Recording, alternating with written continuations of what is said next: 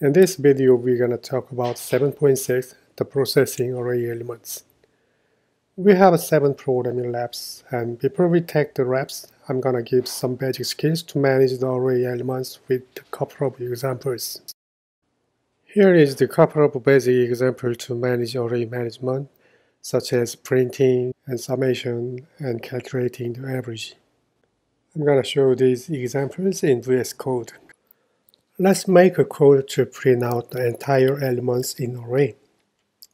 We are making 10 elements array and then first I'm going to use the regular for loop to print out. And then I'm going I'm going to do again with the range based for loop.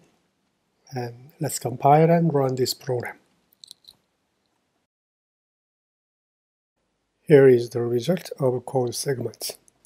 And now I'm going to make a code for summation of all elements in array. In line 12, at every iteration, the index will be changed from 0 to 9, hence all the elements can be accessed step by step in this iteration.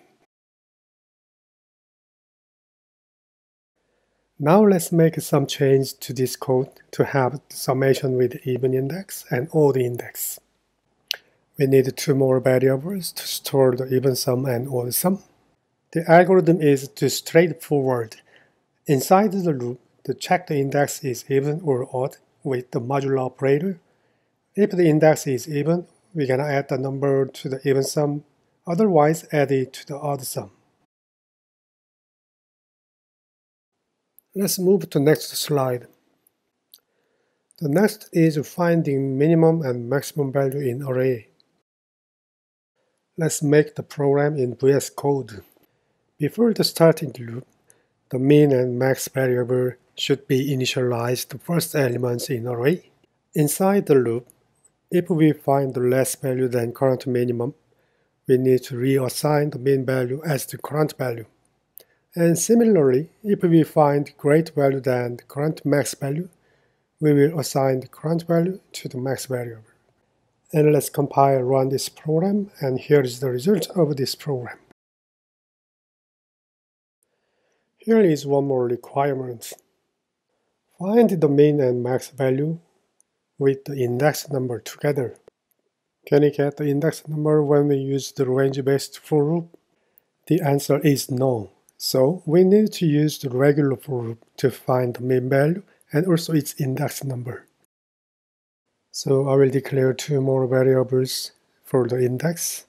Two variables are initialized as 0 for the first index. And when we change the min value, we also change the index. And also the range-based for loop should be transformed to the original for loop structures. And now we can find the min and max value with the index number.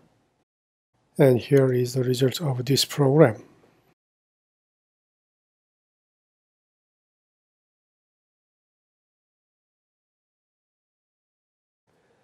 Now let's move to the next topic, the partially filled arrays.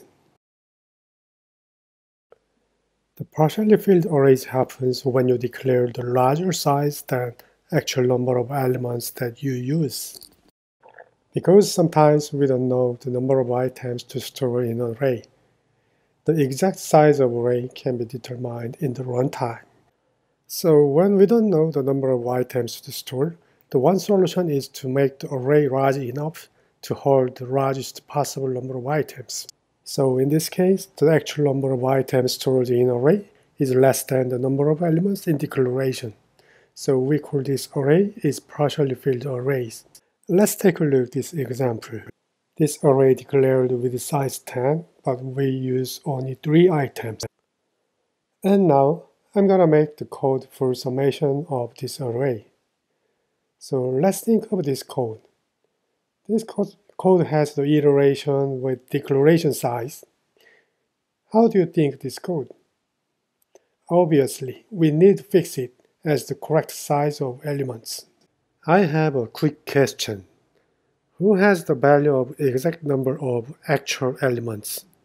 So this is the one thing we have to be careful when we use the partially filled array. So now let's take a look at an example in this slide. In this example, we declared array with the size 100, and then inside of a while loop, we take the usual input. So we cannot expect the exact size of usual elements. But we use the special purpose variable, the name is the input count.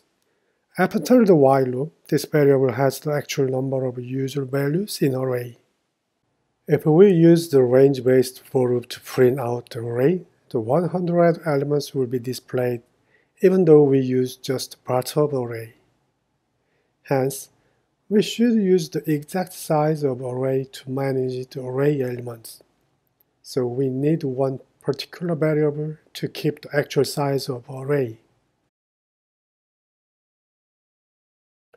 So the keeping the actual size of array is the key point of the partial field array.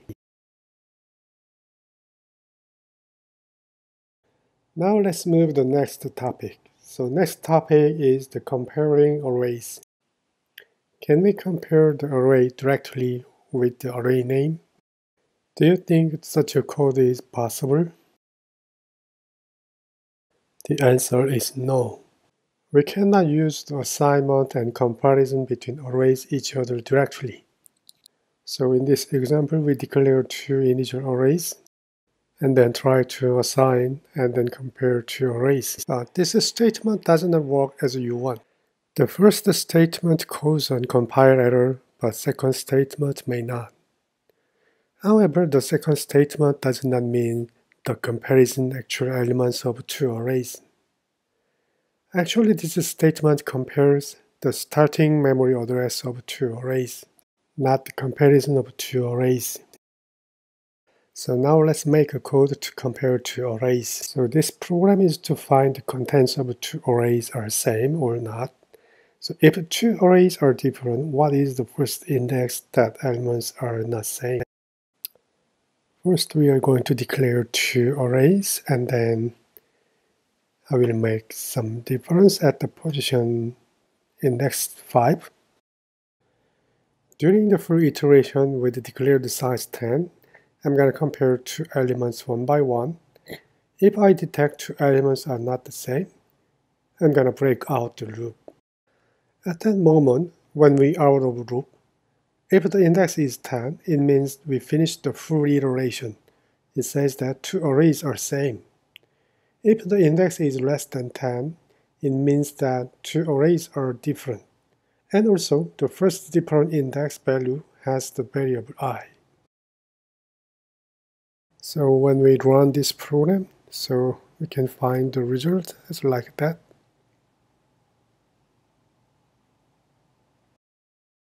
And also we can make more programming challenges, for example, the program to compare two arrays and then find the number of difference elements, or the program to find the subset of another program. So now let's go back to the main topic 7.6.